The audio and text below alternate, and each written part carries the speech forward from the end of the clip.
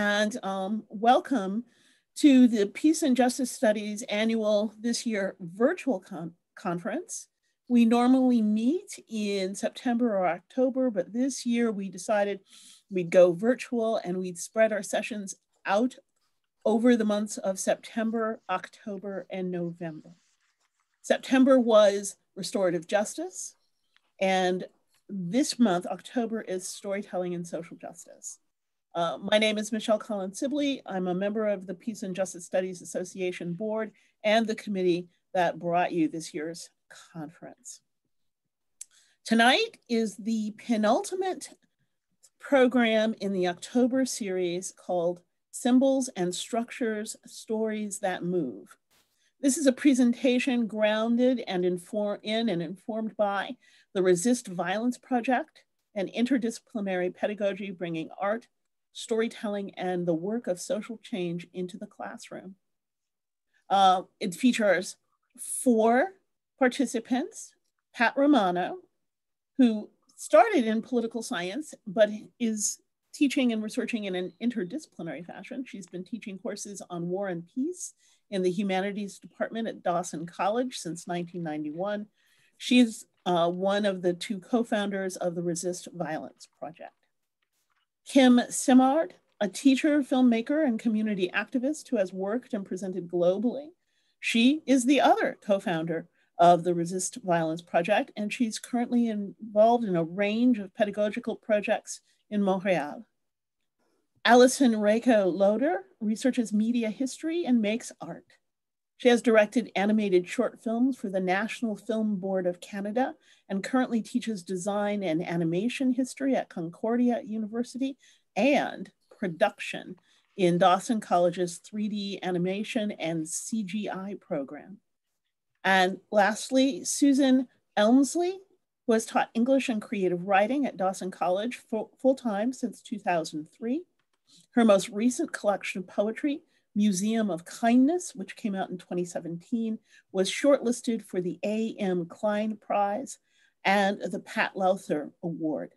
She has served as a juror for the 2020 Montreal International Poetry Prize and has been a Hawthornden Fellow.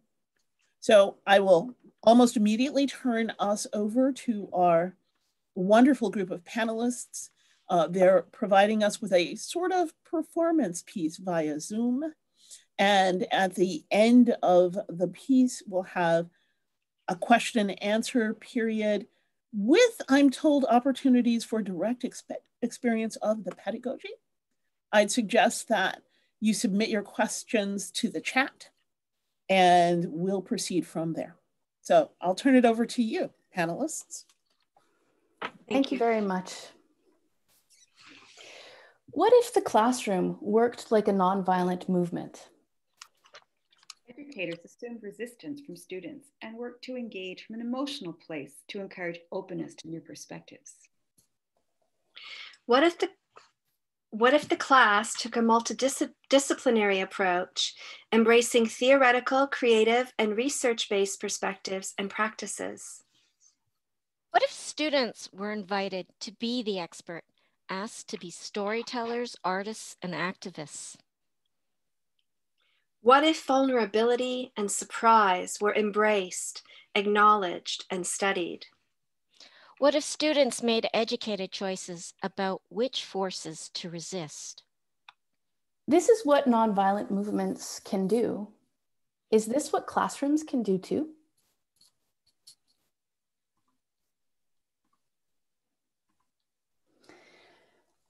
Like Bell Hooks writes, first off, can everyone see this? Okay, I just want to make sure. Okay. Like Bell Hooks writes, I celebrate teaching that enables, enables transgressions, a movement against and beyond boundaries. It is that movement which makes education a practice of freedom. Silences.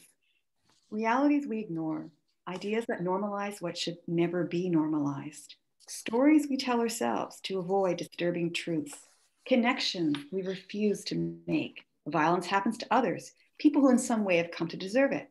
We don't do violence, they do.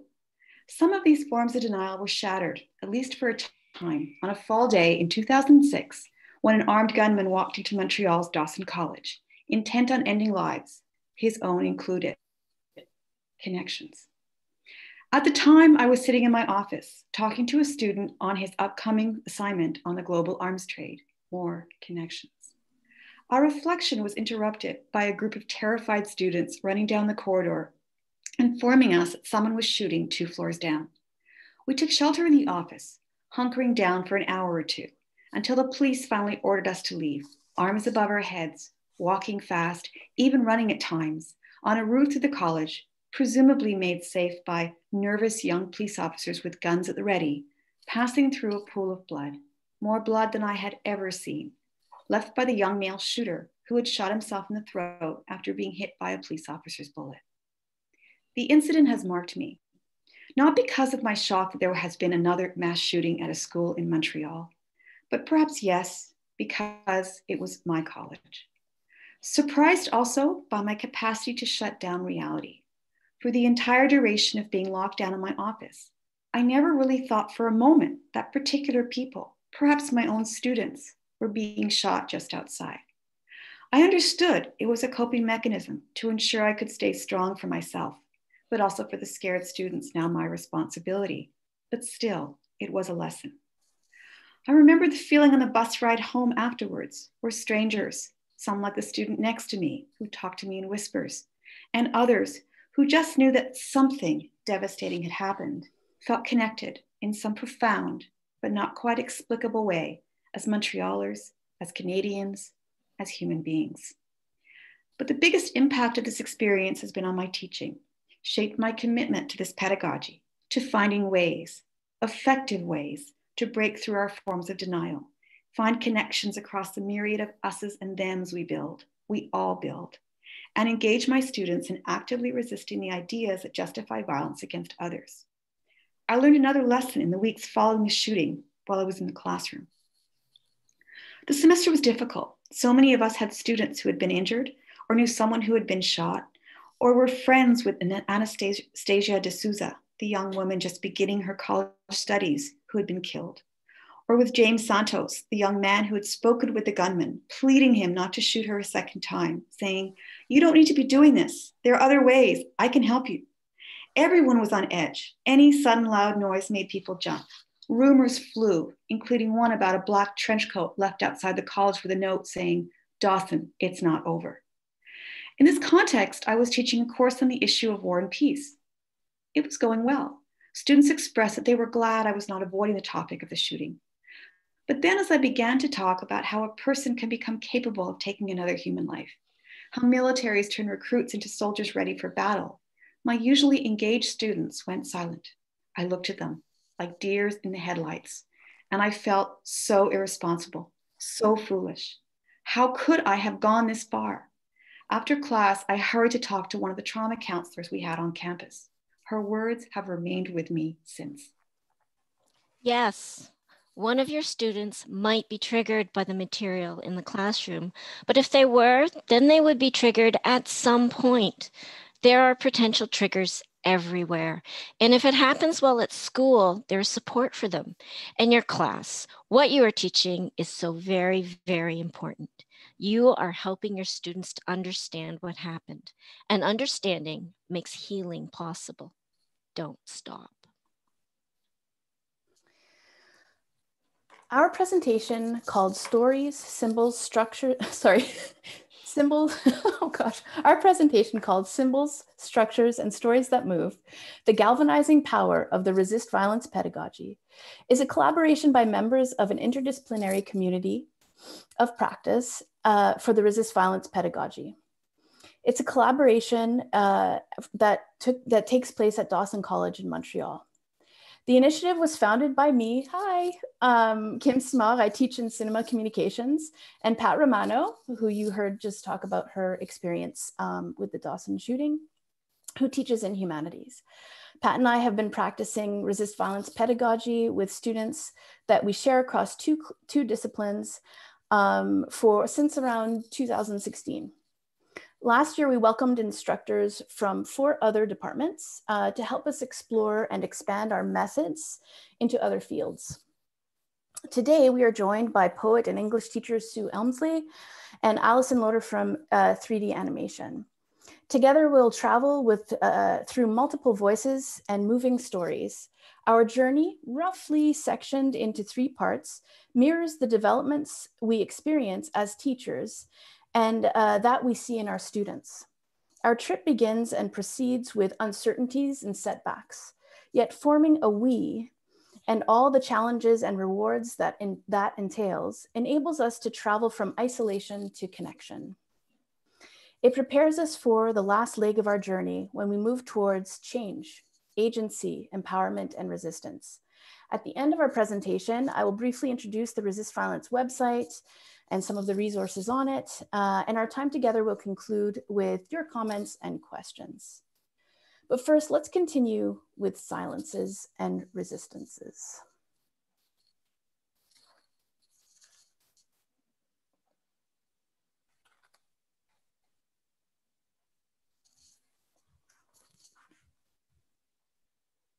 Silences, silence, anger, disengagement, denial, each a common psychological process that can be activated automatically when we are faced with something that challenges our existing ideas and values.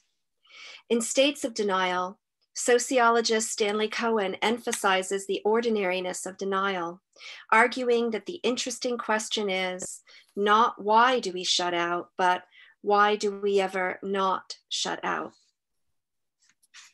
Cohen explores the human tendency to deny more fully in describing some of the different forms denial can take. For example, in regards to what exactly is being denied, this could imply that the facts themselves, as in um, climate change, isn't happening.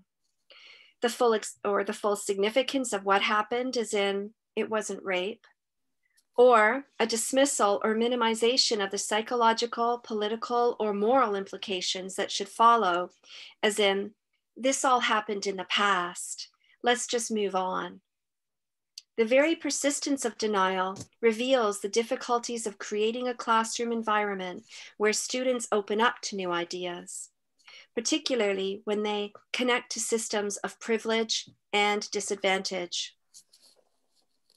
In such a case, how productive is it to tell them they are wrong by repeating one more time the facts?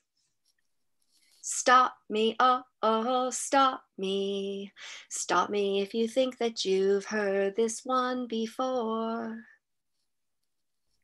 A teacher wants to bring up a social issue that has a multitude of complexities and censors themselves for fear that conflict will erupt or a past experience of a student hijacking the class with, about racism with all lives matter rhetoric proved too harmful for the students, becoming a taboo topic in a teacher's repertoire. A teacher is evaluated for being too political or controversial and moves their practice and research away from a topic they are passionate about. I was a young teacher going over the impact media has on culture in the context of an intro level communications class. As we started a brief discussion to encourage participation, we talked about sports and the ads that enforce unrealistic concepts of ma masculinity. All was seemingly going well. Students were interested, provoked in a way I anticipated, then I explicitly made the link to those kinds of messages and rape culture. A very disturbed young man in the back blurted out, There's no such thing as rape culture, come on.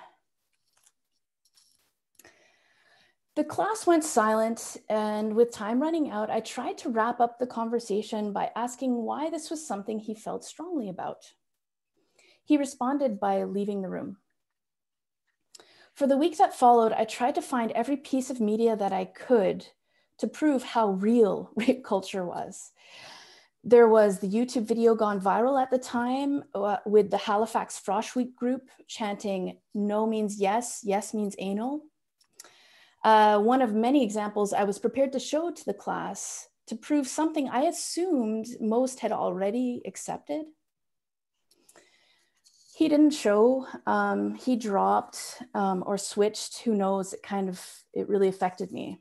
Um, his fragility actually really struck me as well, and his extreme reaction made me a bit scared. So I started censoring myself in class. Uh, I skated around terms I thought might be too offensive. I tried to find ways to justify this approach, even though it was truly not one that suited me and was not particularly effective.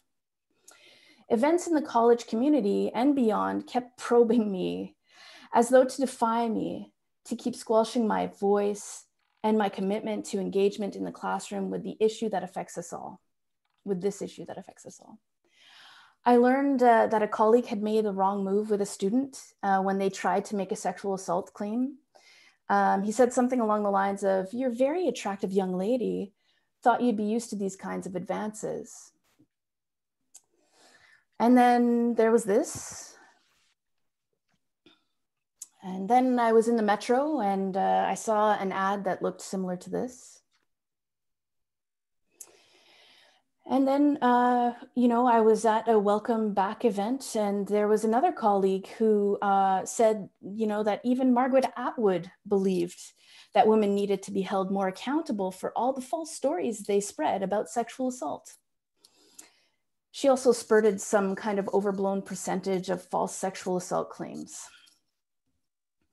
So, in my desperation or my attempt to bring this back into the classroom, I tentatively showed something like this. Oh my God. Is that image really being presented in class right now? Yes, I know about this campaign. Are we going to study this? panties. Not more about consent. We did the stupid workshop. Why can't we just get over it? Oh, I wish the artist hadn't used pink. This is so thong.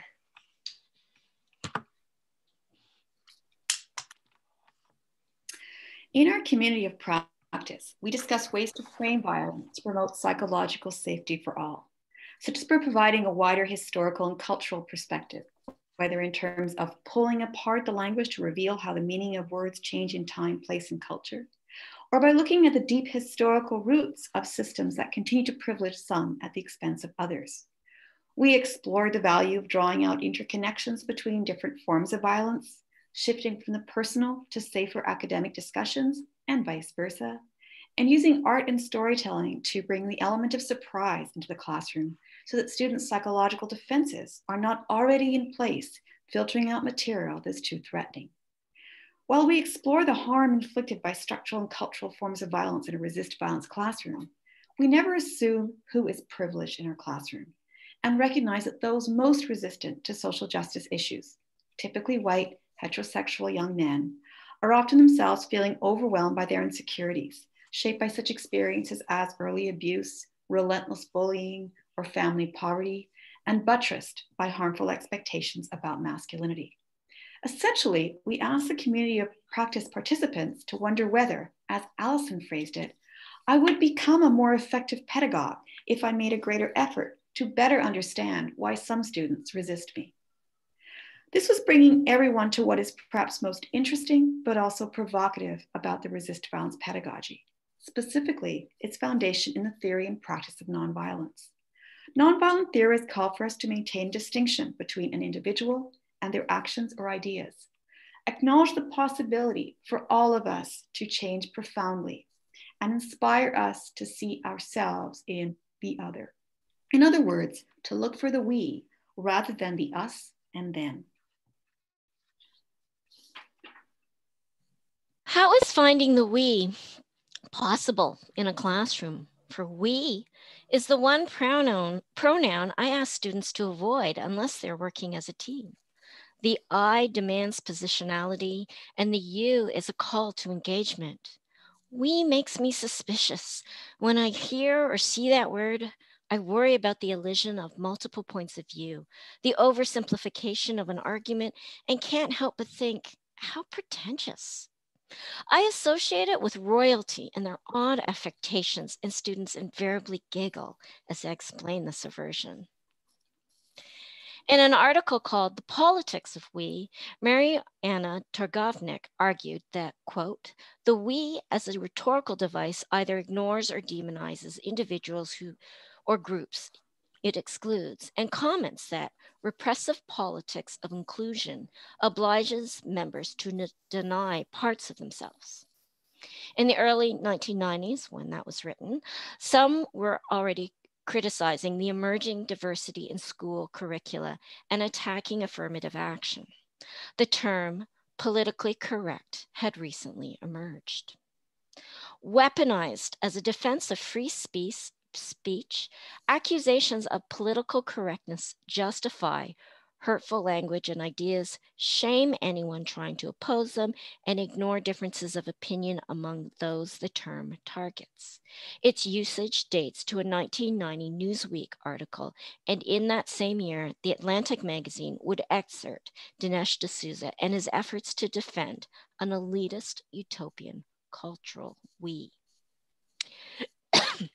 excuse me, D'Souza opposed newer fields, for example, feminist gender and queer studies, post-colonial and peace studies.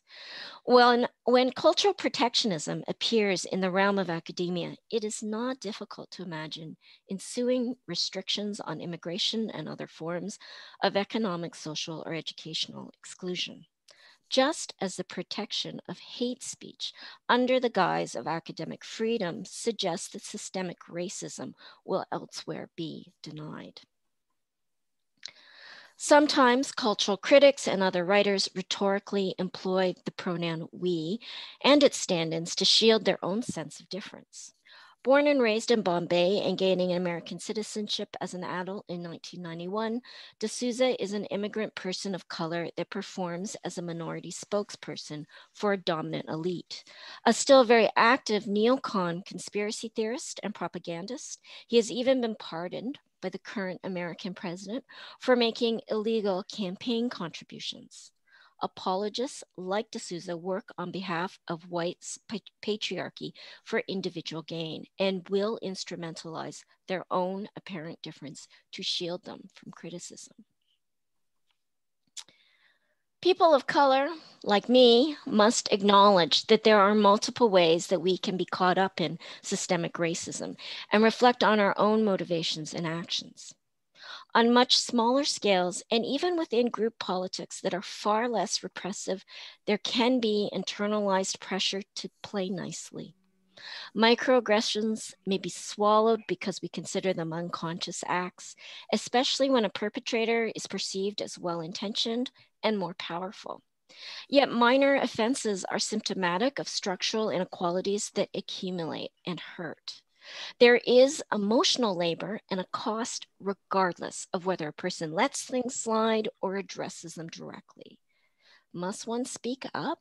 Should they keep quiet? What do they owe themselves to the community they come from, to the community they aspire to?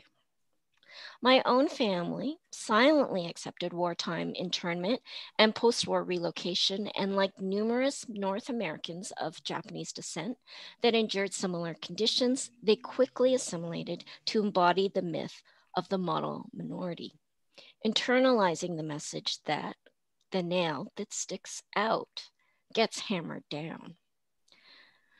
But here's what my other internal voice is saying why is it my job to explain to you how racism works or how I identify? And why are you with me if I try? I thought we were friends, and here I am just trying to enjoy this pint with you. So I wonder about students of color and other visible differences during classroom discussions of identity, representation, and cultural violence seeing them silent, sinking into their seats, perhaps hoping to disappear, worried like me that something awful or insensitive might be said, that they will be expected to weigh in, and that they might offend someone themselves. I cannot help but identify with them. So we cannot assume that any we pre-exists that we are in agreement and working to the same end, or that a we that ignores internal differences can or should be protected. Yet, collective action is essential to effect lasting change. To build a we from disparate parts is a challenging, painful, courageous, and perhaps unending process. Still, the only we's that attract me or that I consider even possible are polyvocal, self banking, transformative, and transforming arrangements of diverse actors that respect, listen, challenge, and learn from one another. Those we's need to be cherished, nurtured, and open to expansion.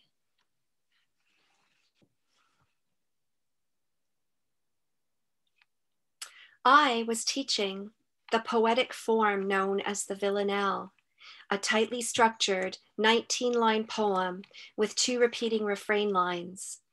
We had already considered the most famous examples Dylan Thomas's Do Not Go Gentle into That Good Night and Elizabeth Bishop's One Art. And we were considering some contemporary examples in preparation for an upcoming in class essay students were to write. When I showed a villanelle called Larkspur by my friend Rachel Rose and published in her collection, Giving My Body to Science, things heated up in the class. The poem's speaker recounts to a woman named Ellen, who the poem is dedicated to, what happened when Ellen was moving into her first apartment in Brooklyn. Clearly, Ellen was attacked by a stranger, nearly choked and sexually assaulted. The poem's speaker says, The door was left ajar. He forced your legs apart. Ellen was left with, quote, finger marks on her throat. In our discussion of the dramatic situation of the poem, that's who's speaking to who and under what circumstances, uh, one student, a young woman, took issue when I said that Ellen was sexually assaulted. She put down her pen and spoke up. She was raped. Raped. She was raped, she said. Suddenly, this was a discussion about more than a poem. The tension in the room was palpable, Perched on the edge of a table at the front of the classroom, I could feel my adrenaline kick up. What was at stake here? Did the student perceive in my use of the term sexual assault an effort to deny a victim, deny a victim's experience, or sanitize what happened to her? I was definitely being challenged and with a degree of hostility. I don't know if I answered in the best way. I forgot to take a breath. I could feel my heart pounding, and my face was probably serious or stern looking. I didn't disagree with the student. It is a poem about rape. But I first defended my use of the term sexual assault. Canada has a broad definition of sexual assault. It includes unwanted sexual activity, um, such as unwanted sexual grabbing, kissing, and fondling, as well as rape. Then I pointed to the poem, quote, he forced her legs apart. We can surmise what happened, I said, but that's all the poem says overtly. I might have and should have invited the student to make her case, point to other evidence in the poem to support her assertion. What evidence is there? What's missing? What inferences can we reasonably make? In the best of possible worlds, she would have pointed out that in the fourth stanza, the poem speaker says to Ellen, quote, the evidence was intact. You were his scapegoat. Your family was called to the emergency ward, which suggests that Ellen might have undergone an, um, an evidentiary exam or rape kit. I sensed that approaching the poem in this moment, sort of clinically, treating it purely analytically by focusing on evidence, might have been construed as a challenge to the victim. I feared giving this impression, not sure if I was capable in the moment of saying that this is precisely one of the things that Rachel Rose highlights in her poem the problematic way that sexual assault survivors are treated after a crime for which there are statistically very few convictions. The poem um, has a line Who walked out was never caught. And how, despite collective efforts to deny or erase the trauma, it recurs for the survivor like the refrains of the villanelle form itself. I tell students that the moments they snag on in a poem are the most significant. As Robert Frost said, the poem is nicked for meaning here. But I was near the end of the class, it was near the end, and we stopped before resolving our discussion. Though part of me wished we could return to the discussion at the beginning of our next class, that would be the brave thing to do. We couldn't. The next class was the scheduled exam. The class after that, it would have been just awkward, I told myself. Did I lose an opportunity to, dis- to discuss what was really at stake in the students' resistance to my characterization of what happened? This was before the Me Too movement, but we could all feel the rising tide. Did I settle on a legalistic defense? Reading poems is about considering the evidence in the poem, I thought. But how did the woman who asked the question and how did everyone else in the class feel about our exchange? Well, we are all a work in progress.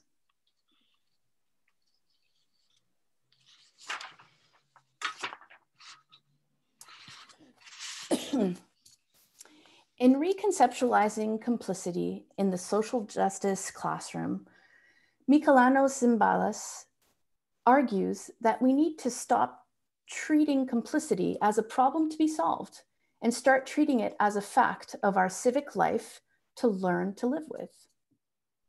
He adds, this implies, for instance, that rather than structuring our lives in ways that focus on avoiding complicity altogether, we should recognize that this is an inevitable aspect of political life, and we are all already complicit in all kinds of ways to unjust acts.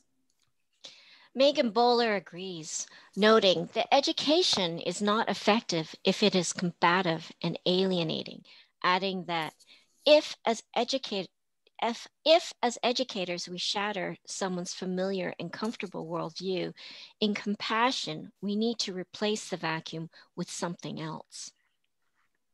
Zembylas responds, if the issue is how to handle white students' denial of complicity, the pedagogical question at hand is not what can I, as a teacher, do to reaffirm students' moral agency so that they admit their complicity, but rather, how can I, as a teacher, move my students to take action in their everyday lives to refuse being complicit in social harm? On Facebook, a former student of mine posted in despair I can't take all of this bad news. I want to just crawl into a ball and try to forget about the state of the world. I replied, Have you tried focusing on the resistance to these things? Photos can evoke our emotions and self and provide self-reflection, and they can also reflect change as well as usher in more positive changes a young man in my class um, had an idea for a project on objectification. It was a commentary on the over sexualization of women in rap music and culture. On the day of the pitch to the class, he waited until the very end to speak. He presented the idea of reappropriating album covers, replacing the revealing images of women with men to make a point. Then sheepishly, he said, I kind of feel bad presenting this idea because I'm like a white guy, you know? What? No, erupted a voice from the in the room. It was the voice of one of two black students. It can't just be me, she exclaimed. We all have to fight this together.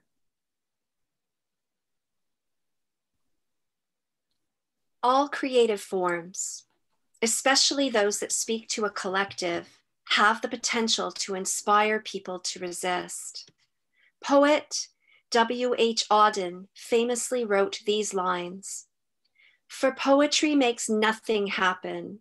It survives in the valley of its making, where executives would never want to tamper.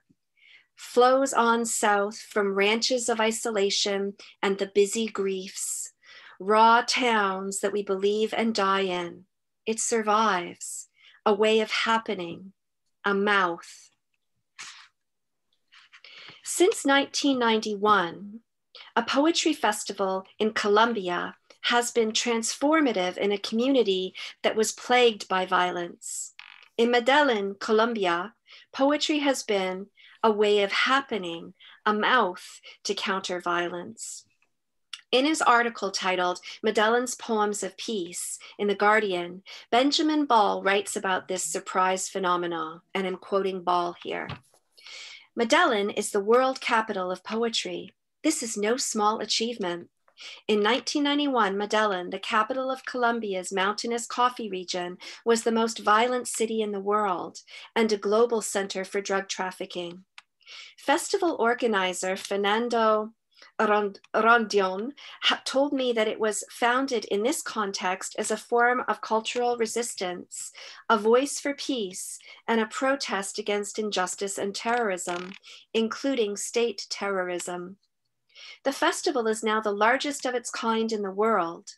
Over eight days, free poetry recitals are held in public parks, university theaters, high security prisons, and schools and libraries in poor, marginalized suburbs.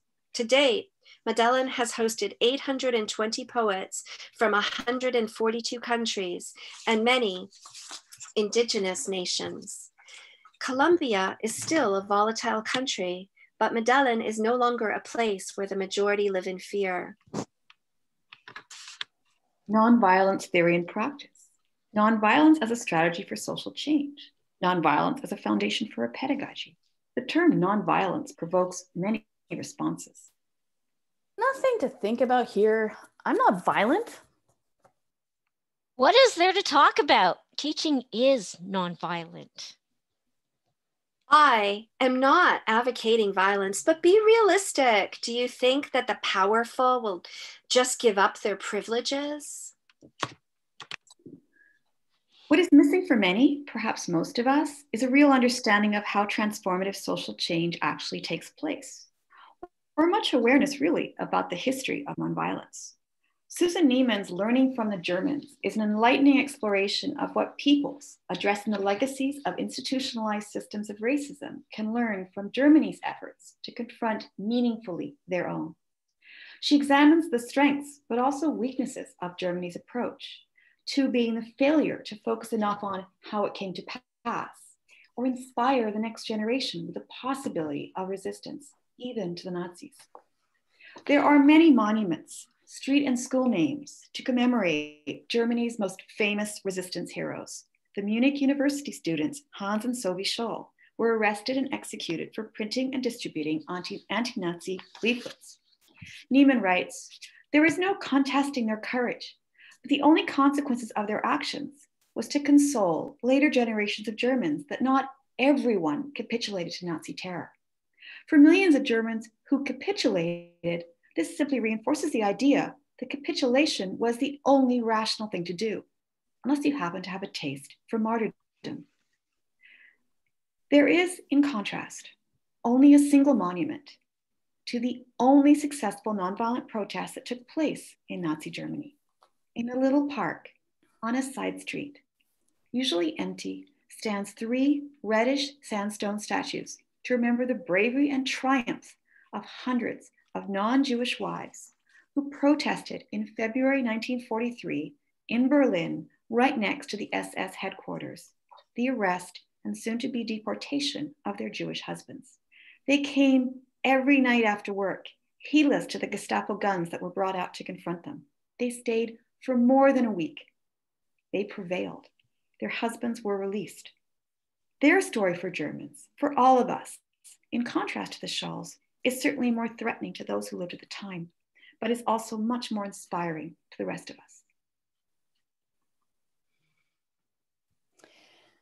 Two people can keep each other sane, can give support, conviction, love, massage, hope, sex, Three people are a delegation, a committee, a wedge. With four, you can play bridge and start an organization. With six, you can rent a whole house, eat pie for dinner with no seconds. and hold a fundraising party. A dozen make a demonstration. A hundred fill a hall. A thousand have solidarity and your own newsletter. 10,000 power and your own paper. a 100,000 your own media. 10 million your own country. It goes on one at a time. It starts when you care to act. It starts when you do it again and they say no. It starts when you say we and know who you mean. And each day you mean one more. Nonviolence, so often devalued and forgotten, has a transformative power that few of us recognize. Resistance scholar and activist Stellan Vinthagen emphasizes that to reclaim its power, nonviolence must be understood as including actions that are simultaneously without violence and against violence. Its transformative potential comes in part from its capacity to reveal contradictions in unexpected ways. And this is most visible in actions that are not only against and without violence, but also, as he puts it, beyond violence.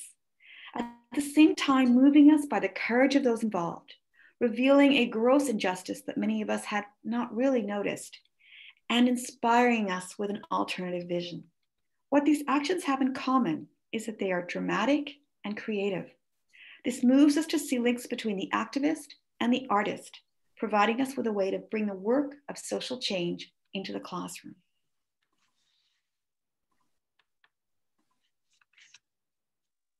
Stephen Duncombe and Steve Lambert the, from the Center for Artistic Activism acknowledged that the term artistic activism seems like an oxymoron.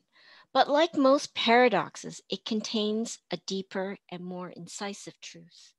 They explain the connections this way, and uh, this is a quote.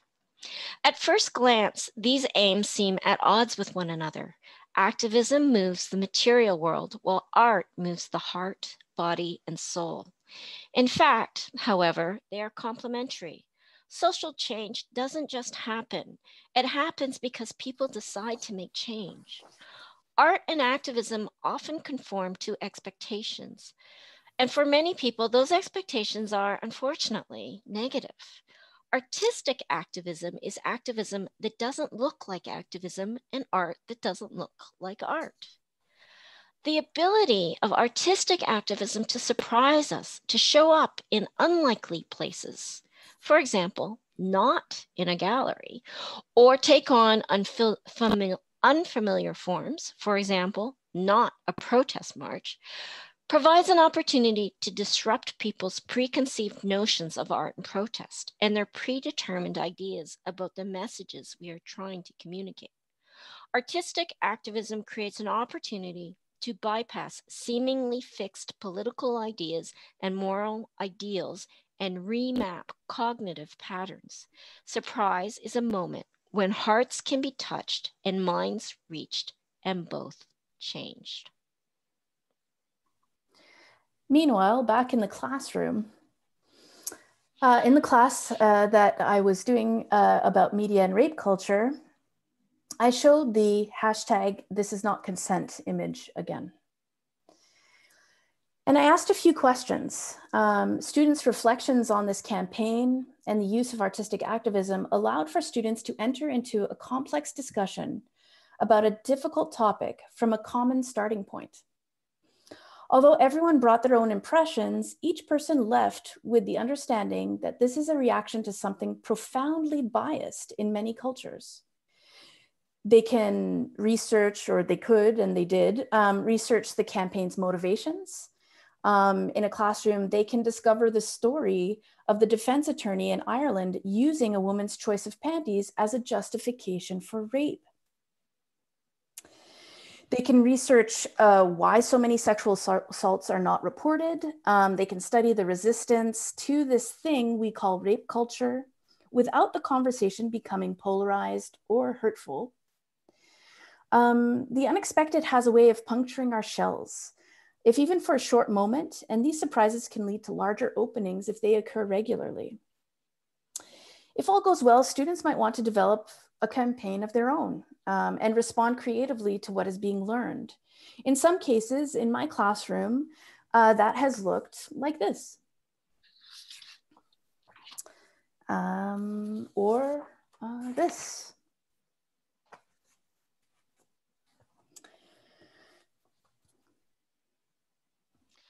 Using stories and art in the classroom offers safe spaces for silent contemplation and personal growth.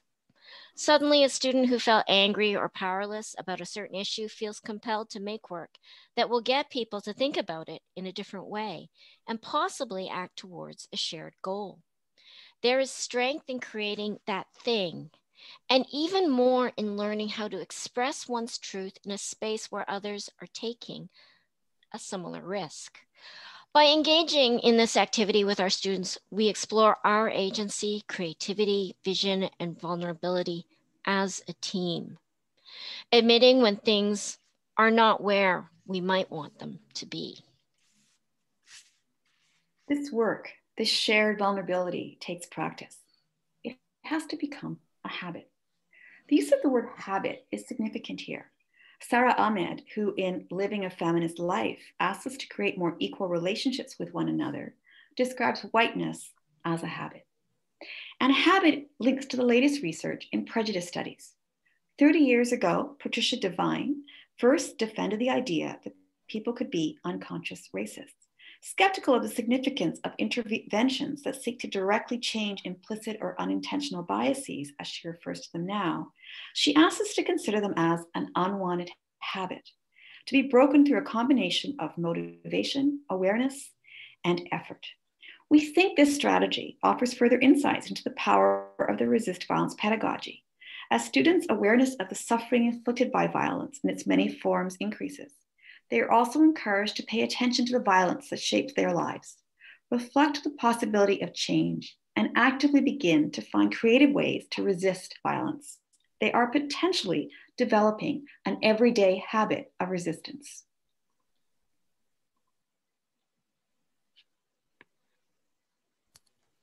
How do we break the unwanted habit of acting from the sort of unintentional biases that underwrite various kinds of violence and develop the positive habit of actively practicing nonviolence, nonviolence in the sense of acting without violence and against violence, while also influencing others to do the same?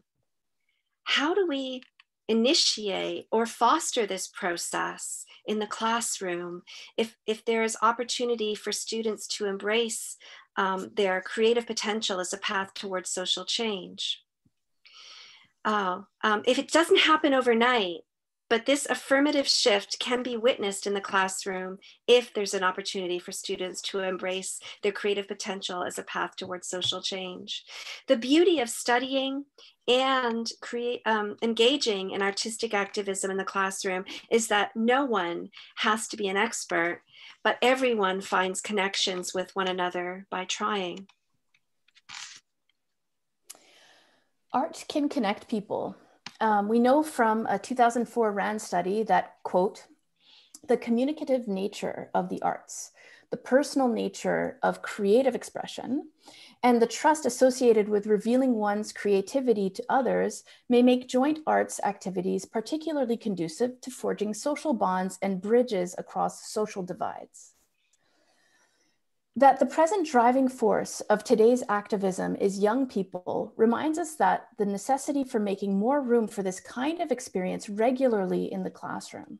As a group of teachers encouraging the study and practice of nonviolence in the classroom, we have seen that the critique and creative production of art in such a context provides an opportunity to develop collective experiences that are themselves transformative.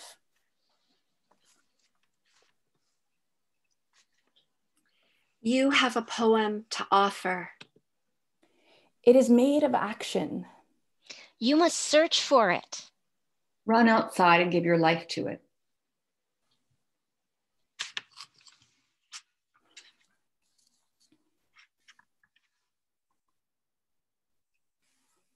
Thank you so much for your attention. And uh, before we go to uh, question and uh, answer. I was hoping that I could uh, show you our Resist Violence website uh, with a few of the resources that are there.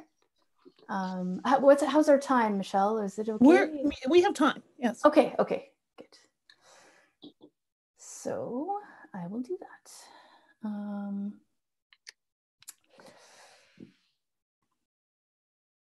okay. How do I do that? Where am I? Okay. Sorry, I'm having a moment here. I'm just gonna try to find the right way. I think I did. Let's share. There we go. Are you seeing a website that says resist violence? Yes. Oh, fantastic. Okay, so that worked out pretty well. Um, so um, we, over the past uh, two or three years, have been kind of compiling a, a website for um, resources and uh, stories. Stories like the ones that you've uh, seen here are on our blog. Um, we've got a few of them, reflections on how we're working in the classroom, some of the things we're influenced by, um, reviews of films um, and, and books and things like that. Um, and we also have uh, an ongoing newsletter, which I highly encourage you to, um, if you're interested in what we presented here, please subscribe. Um, we don't send it out. Don't worry, we won't uh, bombard your mailbox. In fact, we're sometimes too occupied or too busy to send it as uh, often as we would like. But we try to send them seasonal, like if we can. Hopefully, by the end of fall, we'll have a fall newsletter. That's what we're hoping. Um, so on the site, there's a student work that you can look at. Um, there are, for those of you who are possibly thinking like, okay, I'm really not an artsy person. How would I do this? Um, there's a getting started page. Um, and within that uh, page, there are different uh, kind of resources that uh, we hope you can look at. Uh, some of them video based, uh, where students that have been part of the pedagogy um, created for us uh, last summer. Um, and there are different things to kind of uh, look at, uh, things that hopefully inspire you on the site. We have ideas for the classroom, which if you click on will uh, bring you to um, some interesting kind of like, um, you know, assignment ideas, uh, discussion group ideas, etc. We have our foundational uh, resources page that also has resources that we think are good for it, how, who, whatever kind of course you're giving. We kind of think these are really um, kind of key. Um, and then we have modules, and I'll show you our latest module that was created by Pat uh, in the waking hours of last evening. I say this because I was kind of late getting it uh, on the website and published, um, but uh, it was kind of created over the summer, and it's the demilitarization uh, module. We have others on uh, othering, uh, rape culture, and media violence. Um, so if you uh, click onto any of the modules, um, hopefully they can be rich and uh, useful for you. Um, we always kind of pair up uh, someone who is maybe a philosopher on the, or talking about uh, the issue intellectually uh, on one side, paired up with someone who, who has done artistic work on the other. Um, we try to give starting points as like thoughts related to a module like this and how you would kind of uh, delve into it.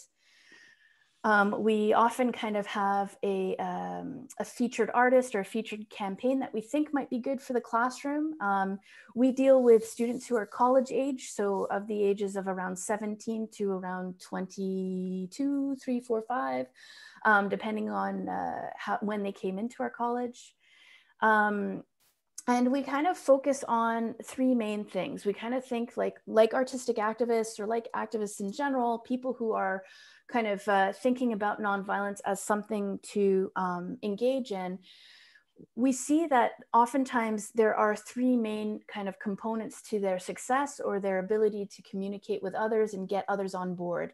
One of them is critical thinking, the other is media literacy and creative expression.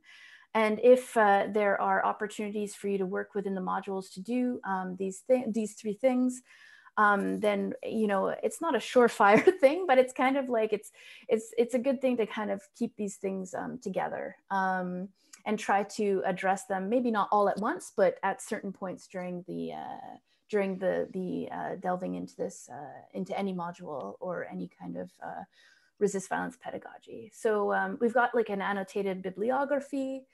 Um, of resources um, that you can look at, and some of them are accessible online. So we've we've made a click here option.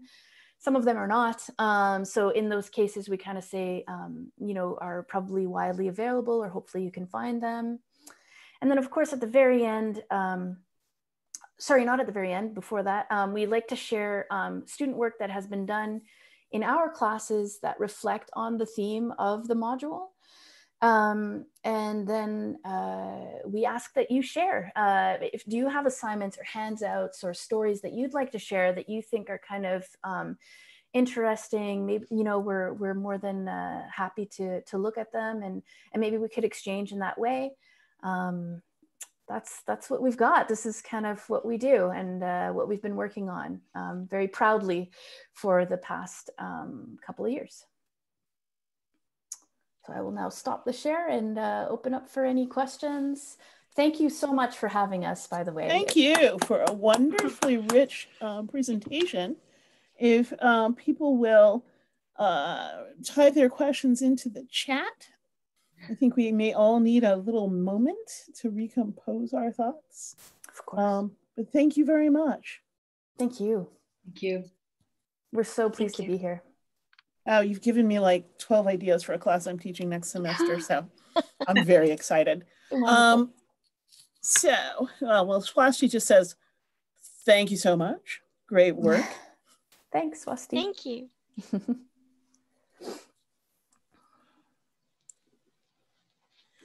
I'll just comment. I love the use of the sunglasses to switch persona. that was Alison's idea, and I forgot was was like, Delightful. Because I noticed the first pair of sunglasses before you got to it, and I thought, what is this? This is interesting. So I thought that was a lovely visual.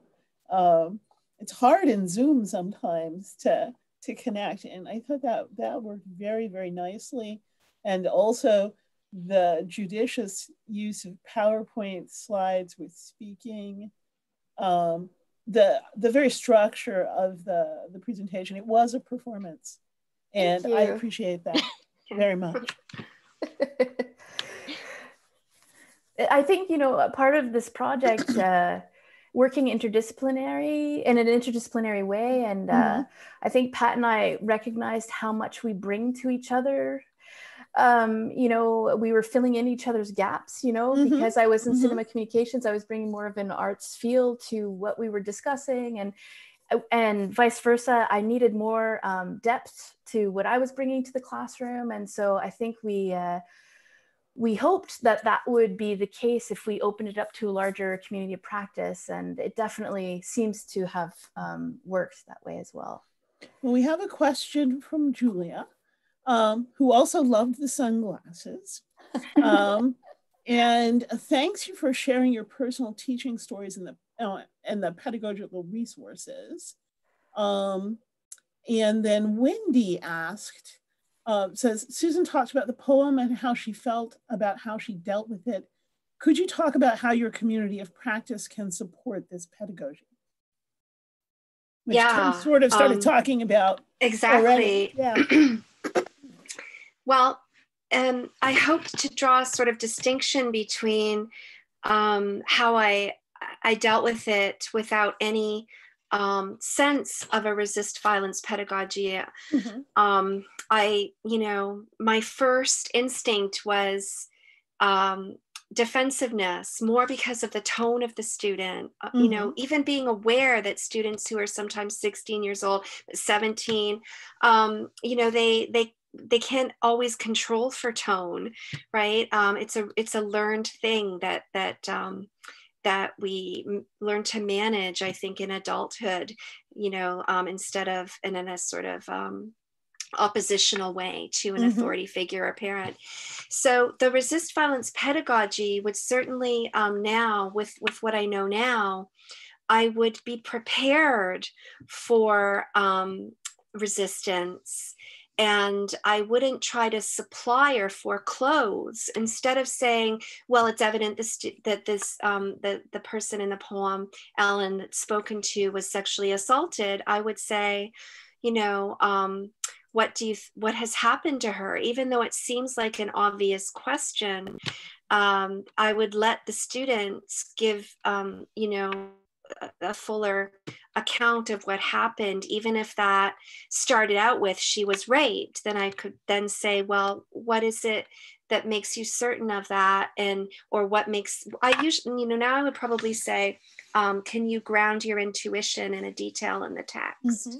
um, which is to honor the um, the intuition and um, you know in a very gentle way get them to sort of um, ex, you know know that they have knowledge that they bring to it mm-hmm. um, and that the whole goal of an anal- analysis of poetry is not to impose our preconceptions on a poem but to see what the the, the writer has done um, which might surprise us which might challenge those preconceptions. Why did why doesn't the writer say that she was raped? Um, why why make that an, a kind of elision and so the resist um, violence pedagogy has made me more open to. Um, I think I was cognizant of my own vulnerability as a person before because I, I approached, um, you know, teaching through a feminist pedagogy, which is not top down, which mm-hmm. is, um, you know, definitely um, a, a, shared dynamic in the classroom. But now I'm not as uncomfortable, I believe, when students challenge me. I sort of hope for it, that that's an opportunity to, to then look at our assumptions um, neutrally, as though it's not, you know, me as a teacher who's being challenged or the student who might identify with the victim, but that we all have emotions that we bring to writing. And it is, it's actually, um, you know, uh, I think designed that way to to lift those emotions from us mm-hmm. so that we can look at them. Well, John Getz has a has a question. Um, he's kind of channeling something I was thinking, and um, he asks about um, uh, administrative support for the project. You, you know, sometimes it's challenging to get support for interdisciplinary work. Have you found Dawson to be supportive? I'll, I'll take that, I guess, Kim. Hey, go, uh, Pat. Yeah. yeah, I know. I think Dawson really um, is a college that has supported a lot of innovative uh, projects and pedagogy. And and maybe to clarify, because I don't know if this is really obvious, this really all began with a, a, a, in a project called Learning Communities, which was about pairing courses together. Mm-hmm. So um, Kim and I, um, me rather reluctantly and a little nervous because it meant, you know, being in each other's classrooms. Uh, so that was sort of a, a, new thing, and I had to get over that. Um, but we we paired a, a very theory research oriented course, my humanities class, with a hands-on class. Uh, so we had them back to back. We had the same students, and we were in, you know, each mm-hmm. other's classes, and uh, that's just um, I think that was transformative, and it's and it led us to uh, realize that something significant was happening in that class. That um, there was a depth of engagement that we had never seen, despite having been successful. you know, mm-hmm. sometimes they're teaching, right? Something really significant was happening, and and that was really the starting point of this whole, um, you know, developing as a pedagogy and trying to figure out what was going on in the classroom and, and I think what really inspired us or me in particular was finding out how much what we were doing was really backed up by theory in these different fields, whether you're mm-hmm. looking at educational philosophy or you're looking at social, uh, social psychology or really uh, nonviolence theory and, and looking in particularly at Stellan Vinthagen's work, that it just was so much of what was they were talking about was what we were bringing in the classroom intuitively in a large sense. Mm-hmm. Mm-hmm. Um, want to add? So, yeah, and I, I think from an administrative standpoint, I, I say this often about this project is that it wouldn't exist if we weren't at Dawson. I think, like, uh, I, mm-hmm. I, uh, we do um, generally get a lot of support from uh, administration to. Um, to kind of take on these experiments if you will you know um, and however to expand the community of practice was through a grant um, mm. So mm-hmm. you know, we we got grant money, and then uh, of course, you know, um, of course, the administration was supportive. You know, um, but it did require that you know four people in four different disciplines with four different seniorities you know ha- you know we're getting release time to do i mean this was something mm-hmm. that required a bit of work on their part and for sure we we had that support so I think we are kind of lucky to to be where we are. Alison, did you want to say something? Uh, yeah, so I just wanted to say this is something that's quite unusual because I teach part time in two institutions. So I was just amazed that Dawson was uh, able to support me as a part time teacher to participate that, and so that was thanks to, I guess, Kim and um, Pat and Dawson, but also my own chair, who really was mm-hmm. quite supportive of this effort. So mm-hmm. I don't know, would never see it in a university, as far as I know. well, I'm yes. gonna, I'm gonna, I'm gonna exercise my prerogative as facilitator to kind of tag on to John's question and ask um, if you've tried. The community of learning sounds wonderful, but have you also tried? Um, having you know visitors in your classroom. We've done this with our peace building and social justice courses where we invite people in to um, talk from their disciplinary perspective or to do an activity with students. And is that something that you've tried at Dawson that has worked? Maybe informally. I'm. I. I don't know if it's as formal as what you're speaking of, but uh, I think informally, perhaps uh, we've. Ours we've... is a little bit informal. It's okay. basically, you know, um, if my if if a colleague is teaching the history of Africa and knows that I teach um, African West African literature, he'll send me a syllabus and say, pick a spot and oh, cool. come talk to the students. So it's kind of the relationship amongst colleagues and friends. But I'm already thinking about people I'm going to invite to do some things uh, awesome. in this way. Now we have another question. Okay. This one from Clabel. Since you are using art and difficult topics, have you looked into art therapy? I wonder if it would complement or provide other ideas about how to develop the projects for your classes. I wish the one of the members of our community practice were here to answer that. She's psychology, um, mm-hmm. but she couldn't be here, unfortunately. Um, have we really, I don't know, have we thought about that? Um, I'm looking at everyone in our community practice, sort of, but I don't yeah. I guess I would say sort of in the sense that we recognize and are, and are um, in a sense using art for students to work through, right? Mm-hmm. Uh, their anger, their frustration, their sense of, of um, um, I guess uh, you know, desire to do something, right? So in that mm-hmm. sense, we're definitely not uh, definitely tapping into the psychological benefits of mm-hmm. art. So I think in that sense, yes, but not in a uh, you know, not in a more, I guess, you know, in that general sense. I mm-hmm. also would like to add, I don't know if this kind of fits Michelle with what you're saying, but turning it kind of the other way and bringing our our work to um, the, the, the larger community is mm-hmm. that we also um, have an exhibit at the end where students mm-hmm. uh, present their uh, works of artistic activism. And the last one was virtual, and you can actually visit it. Um, mm-hmm. Called attention and we visit it on, on our on our website. But yeah, so that was another way to sort of engage the larger community and have teachers coming in and then thinking about um, how they might be able to apply the pedagogy and actually that that was one of the things that was one of the things I was thinking of. We have a small art gallery here on campus, and um, they very kindly, when I did a sabbatical project that involved papermaking and bookbinding and artist books, gave me space and time to have a show of that work at the end of the sabbatical. And I think they would really love to do that with students too. Yeah. And I'll now go back to being a good facilitator and ask uh, Julia's question Would some of the resist violence activities be suitable or appropriate for student workshops outside of a class? Yes. yeah, I, yeah, I definitely think so. And hi, Julia. We know who you are. and we should, we should talk. Um, yeah. Um, I, I definitely think so. Um, p- particularly in a, in perhaps in a situation that we're not in right now. Mm-hmm. Um, you know, I don't know if you can hear me. Am I breaking yeah. up? Well, you're frozen, but I can hear your voice. Now you're moving again. Okay. Can you hear me? Um, yeah. You know, a, a situation where Oh, good. Like a situation. Yeah, I can.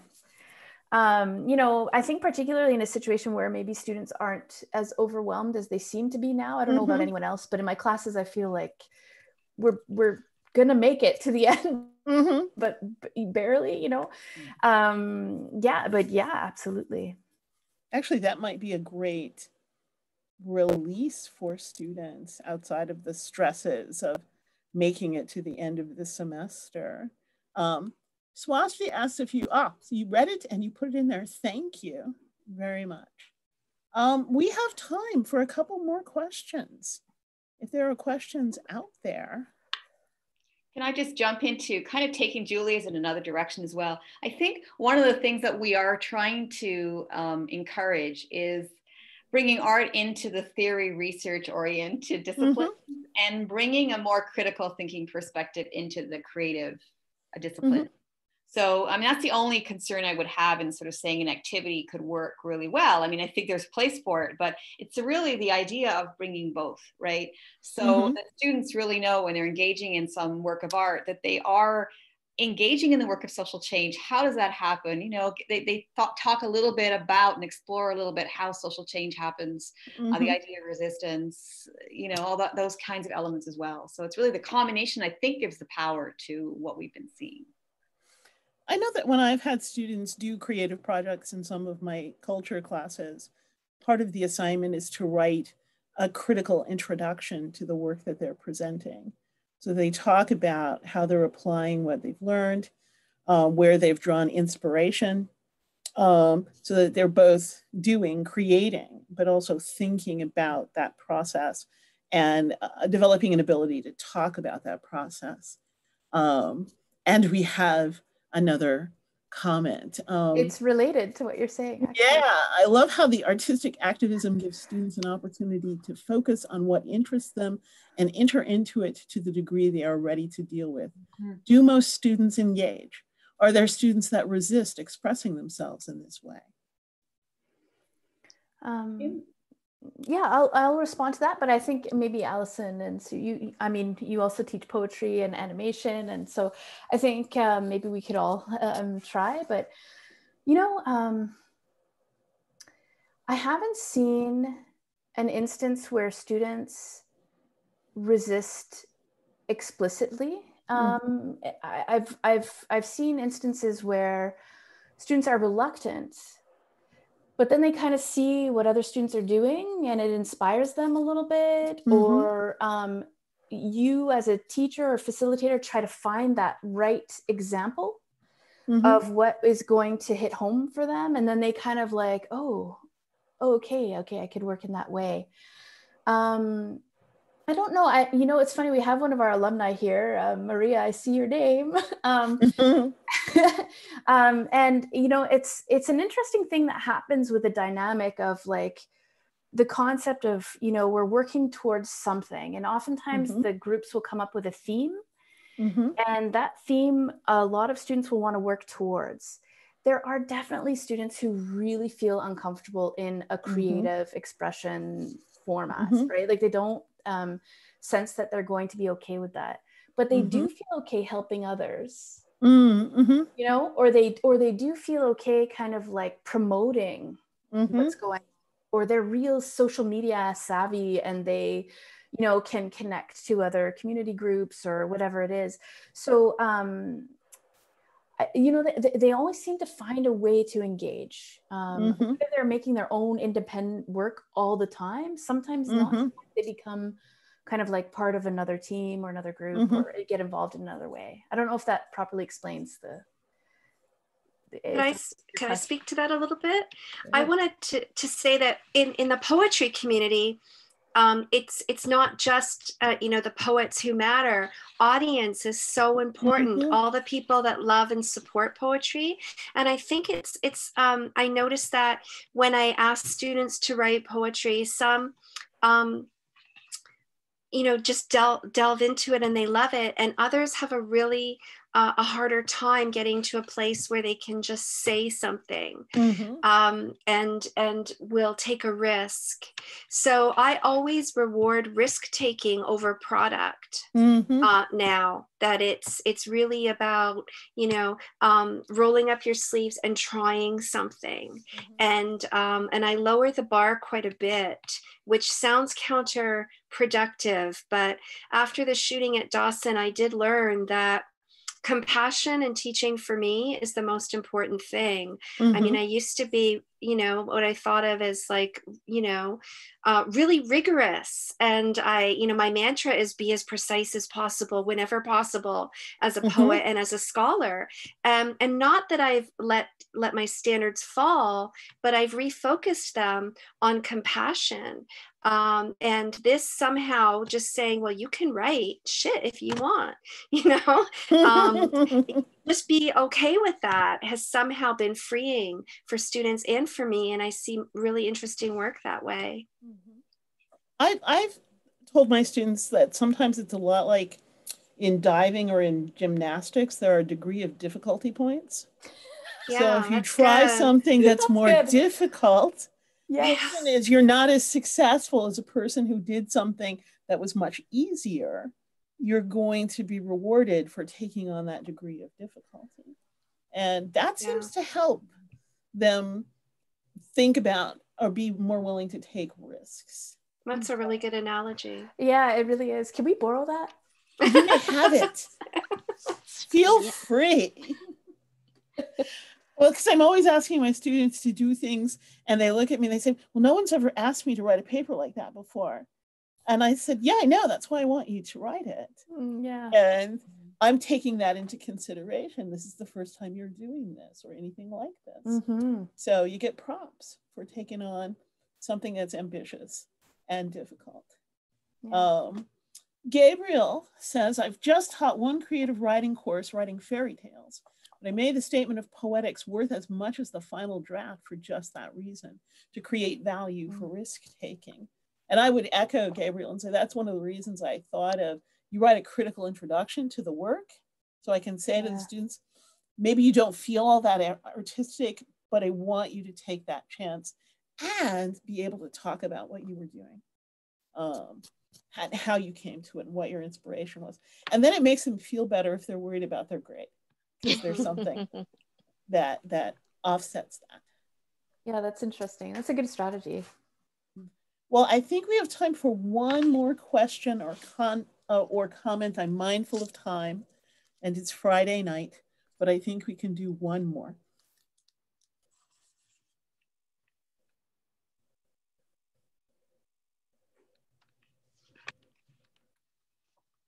Or perhaps not.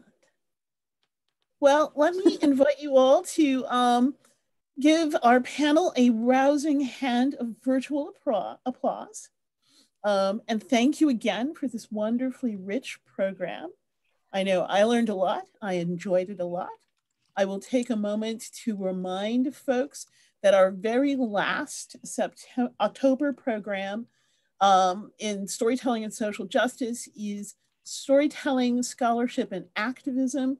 Two of the presenters have been here in the audience. It will start at one o'clock Pacific time, one to 2.30 Pacific time, and four to 5.30 Eastern time. And then we'll begin again in November, on November 10th, with polarization in a time of misinformation and political strife, water, climate, and energy change. Um, you're all here, so you know how to register. I'll encourage you to register for November, and I'll look forward to seeing perhaps some of you tomorrow. I'm facilitating again, some of you tomorrow afternoon, and others among you in November when we take on polarization, which I fear may be all too apt Yeah. a, a subject for the month. Thank you again very much. Thank Lovely you. Thanks so much for having us. Thank, Thank you for coming and, and performing and all of that. It was lovely.